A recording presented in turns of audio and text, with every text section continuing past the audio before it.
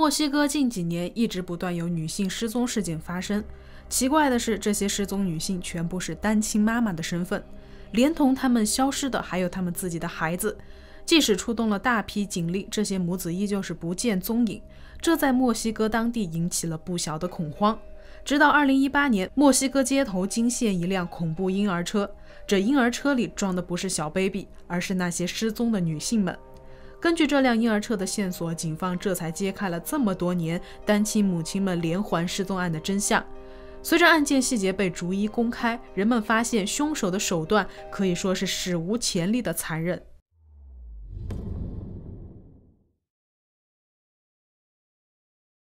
二零一八年四月、七月、九月期间，在墨西哥埃卡特佩克小镇，接连有三名女性离奇失踪。巧合的是，这三名女性都是单亲母亲。连同他们一起失踪的还有他们的婴儿。当地警察接到报案以后，立马展开了调查。可警察调查了很久，也一直没有什么线索。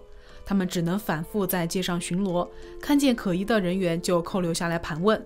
但是盘问结果却差强人意。警察们就这样坚持巡逻到了二零一八年十月五日。这天，一对夫妻推着一个婴儿车走在路上。奇怪的是，他们把婴儿车的帘子裹得密不透风。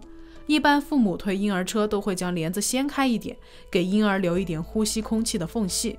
可他们怎么这么反常，把帘子裹得这么紧？再加之最近婴儿失踪的案件，这奇怪的行为引起了警察的怀疑。于是警察拦下了这对夫妻，准备查看一下婴儿车。可让警察也没想到的是，这个婴儿车里压根就没有什么婴儿，婴儿车里装的是一堆整整齐齐的人体残块。这对夫妻当场被警方逮捕。警察把这对夫妻带回警局后，对他们进行了身份调查。男的名叫胡安，女的名叫派翠西亚。警察随即开始盘问他们婴儿车里的残块是怎么来的。警察本以为这对夫妻还会狡辩，结果夫妻二人丝毫没有遮掩，直接向警方交代了自己的犯罪经过。胡安甚至向警方坦白了，他们夫妻二人袭击了远远不止这三个失踪的单亲妈妈。他们夫妻二人从二零一二年开始就开始专门挑选单亲妈妈下手，他们总共袭击了不下二十位女性。讲到这里时，胡安脸上甚至流露出了并不满足的表情。他告诉警察，自己的计划是一百个女性，可现在才只进行到二十个，实在扫兴。听到这些的警察们大吃一惊，警察甚至觉得胡安在吹牛。紧接着，他们开始盘问胡安，把这二十名女性的遗体都藏到哪里了。胡安癫狂地告诉警察，都在自己的屋子里保存得好好的。警察立马前往了胡安的住处，寻找那些女性残骸。警察抵达胡安的房子后，还真的在他的房子里找到了这些女性残骸。进入房间后，场面一度让人作呕。警方在胡安家里先是找到了八个塑料大桶，警察打开这些桶之后，发现大量的人体残块。大桶里面还注入了水泥，将这些残块牢牢封印在桶里。这些大桶旁边还拴着一条恶犬，它非常凶猛。这条狗在看见警察后，疯狂地对警察进行扑咬。这条狗扑咬的样子，并不像是简单的应激反应，而是像闻见活人味道后的兴奋，感觉好似要开饭了一般。果不其然，恶狗的旁边摆放着一个铁盆，铁盆里面装着一些生肉。这些肉后经法医鉴定，它们就是人体组织。警方随后将这些遗块全部带回了警局，法医对此展开了技术鉴定。鉴定结果出来后，警方确定在胡安住所发现的所有遗体残块，正是来自于最近失踪的三名女性，其中还有一些残块是2012年至今埃卡特佩克小镇失踪女性的。看来胡安并不是胡言乱语，他前面跟警察所说都是真的。那么胡安和他的妻子究竟是为什么要大肆袭击这么多单亲妈妈呢？他们作案的动机究竟是什么？这还得从胡安的童年经历讲起。胡安从小就没了父亲，年幼的他就跟着母亲生活。单身母亲想要抚养一个孩子是很困难的，加之胡安母亲也没有什么一技之长，就更困难了。为了能与儿子活下去，他只能靠出卖肉体赚取生活费。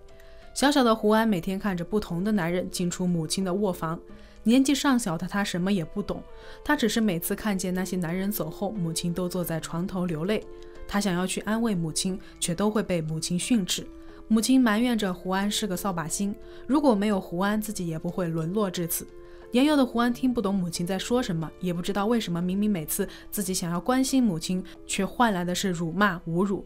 他觉得自己的母亲并不喜欢自己。胡安为了努力讨好母亲，他在家里做任何事都小心翼翼的，生怕招惹母亲不开心。直到有一次，母亲在接客的时候，胡安好奇地趴在门上看。胡安被客人发现后，惹得客人不快。客人觉得干这种事被窥探特别不舒服，于是动手打了胡安的母亲。这个客人还对他们母子恶语相加。等接完客后，心中有怨气的母亲抓住胡安就开始泄愤。胡安害怕的哇哇大哭，他不知道母亲为什么要这样做，也不知道自己做错了什么。等母亲气消了之后，也没有帮胡安处理伤口，只是把胡安撂到一边，自己又坐到床边流眼泪去了。胡安只能自己消化这些坏情绪，这让年幼的胡安感到很无助。等胡安再大一些时，胡安的母亲傍上了一个金主。这个男人非常有钱，不过这个男人有异装癖。他的异装癖不是对自己，而是喜欢看小男孩穿女装跳舞。胡安的母亲为了让金主开心，他就强迫胡安穿各种各样的小裙子。胡安一开始抗拒极了，他反抗哭闹都无济于事。母亲甚至开始给胡安洗脑，他告诉胡安，只要胡安穿上小裙子，他就会喜欢胡安，不再会对胡安动手。单纯的胡安听到这些话，想着妈妈终于会喜欢我了，乖乖的就把裙子穿上了。有一次，他穿裙子的样子被小伙伴们看见，小伙伴们都开始取笑胡安。胡安从此以后被小伙伴们称为怪物，也没有人再愿意跟他玩了。胡安觉得很羞耻，回家就把那些裙子都剪碎了。母亲看见这一幕，气坏了，拿着剪刀一边大骂一边追着胡安。胡安看见母亲这样，吓得赶紧跪在地上，祈求母亲不要伤害自己，并发誓自己以后不会再这样了。胡安母亲一听，那好啊，便开始变本加厉地要求胡安做自己不爱干的事，比如让胡安学跳艳舞。胡安笨手笨脚的跳不好，他母亲就会用武力解决。胡安为了讨好母亲，努力学着那些舞蹈，即使自己身上全是伤，也不曾停歇。胡安就这样表演了一年之久。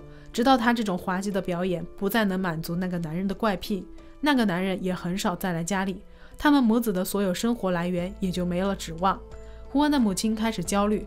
没过多久，那个男人又联系了胡安母亲，不过这一次，那个男人提出了非常过分的要求，他希望胡安可以看着他们欢爱，完事儿后会支付胡安母亲相应的报酬。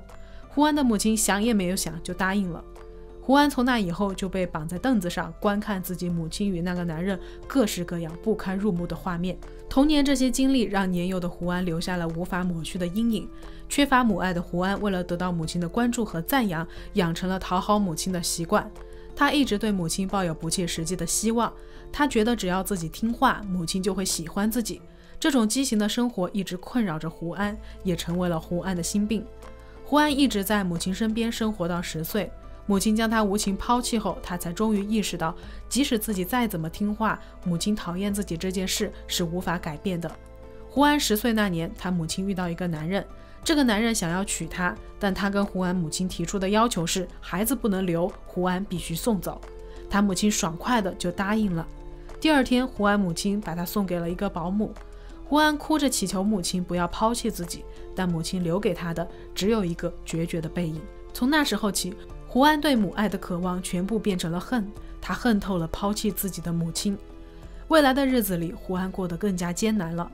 这个保姆比自己的母亲还要恐怖，耐不住寂寞的保姆只能在胡安的身上找安慰，强迫胡安按照自己所说的做。胡安不肯，保姆就会体罚胡安。胡安彻底崩溃了，他开始厌恶起女性。胡安觉得女性是很恐怖的生物，不会把自己当人看。他甚至萌发了想要消灭所有女性的想法。胡安抱着这个想法，一直在保姆身边饱受摧残，艰难地活到了十八岁。十八岁的胡安为了逃离保姆，毅然决然去当了兵。他退役后遇见了一个女人，也就是胡安的妻子派翠西亚。派翠西亚非常理解胡安，她和胡安有着相似的童年经历，她也讨厌女性。胡安仿佛看见了另一个自己，他开始对派翠西亚产生好感。并且越来越信任派翠西亚，他开始给派翠西亚讲自己消灭女人的计划。胡安消灭女人的计划粗暴又简单，就是谋害女性，有一个消灭一个。胡安一开始还担心派翠西亚不能接受，出乎意料的是，派翠西亚听了以后很支持胡安的想法，而且派翠西亚表明自己十分愿意和胡安一起去完成这个计划。胡安听后感动极了，这么多年是胡安第一次得到认可，他立马决定和眼前的这个女人结婚。两个人婚后没多久就开始着手完成这个计划。胡安告诉派翠西亚，他打算只针对单亲母亲下手，但自己的长相并不能让他们放松警惕，所以这个任务只能交给派翠西亚。胡安让他上街作为诱饵去诱骗单亲母亲。派翠西亚和胡安结婚以后，也有了自己的孩子。如果派翠西亚抱着孩子在街上寻求帮助，胡安坚信那些女人是绝对不会拒绝派翠西亚的求助的。于是，这夫妻俩达成一致后，立马开始了行动。二零一二年，派翠西亚就按照胡安所说，她抱着孩子走到街上，看见抱着孩子的母亲，就上去借纸尿裤。对方借给派翠西亚之后，他又谎称自己是单亲母亲，很不容易，试探对方。只要对方也吐露自己也是单亲母亲的话，派翠西亚就会以表达感谢为理由，邀请这些女人去自己家里，或者谎称自己有很便宜的衣服卖，吸引这些单亲妈妈前往。对于受害者来说，派翠西亚单身母亲的身份已经让他们卸下了防备，更别说还有便宜的衣服这么好的事儿了。每一位受害者都无一例外毫无戒心地跟着派翠西亚回了家。结果他们刚一进门，派翠西亚就反锁住房门，胡安就冲出来控制住受害者。在部队待了多年的胡安，三两下就解决了走进家门的单亲母亲。当这些女人在他们面前失去呼吸之后，胡安他认为这还不够。这并不能完全消灭这些女人。他将她们的心脏丢给自己养的狗吃，然后再把其他的器官泡进装满防腐液的罐子里，留下骨骼。最后，他会把这些器官和骨骼全部卖给塞塔里阿教。墨西哥有一个教派叫塞塔里阿教，它盛行于古巴和加勒比群岛。这个教派喜欢用人的颅骨、躯干、骨骼、血液来做法。为了防止剩下的这些残骸散发味道。胡安会把它们装到大桶里，灌上水泥。这些繁琐的步骤都是胡安一个人独立完成的。派翠西亚则带着他们的孩子坐在客厅，胡安就在离客厅只有一墙之隔的房间里操作着。他有时候开心了，还会对着这些遗体抽打，甚至发泄欲望。胡安把女人们处理完了，他就该处理他们的孩子了。胡安把这些婴儿全部卖掉了。他和派翠西亚因为这笔黑心买卖还赚了一大笔钱。夫妻俩就这样一来二去，不仅完成了胡安的离谱计划，还赚了一大笔钱。胡安越来越上瘾，夫妻俩之前还会间隔很长时间作案。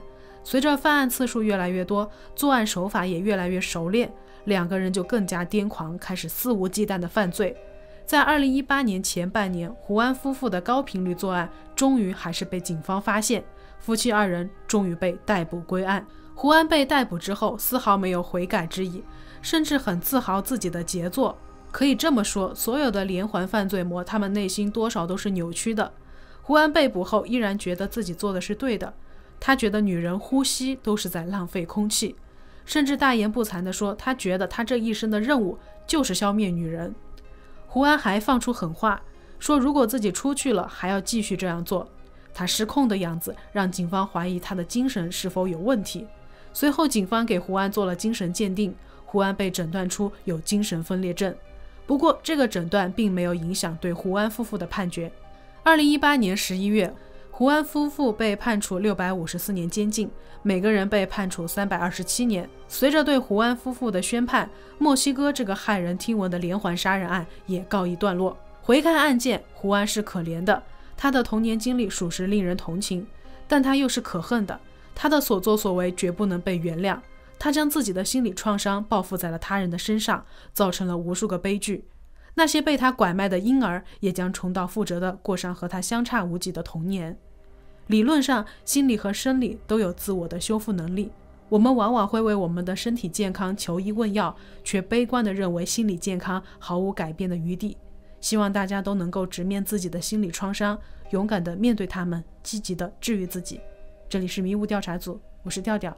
我们下期见。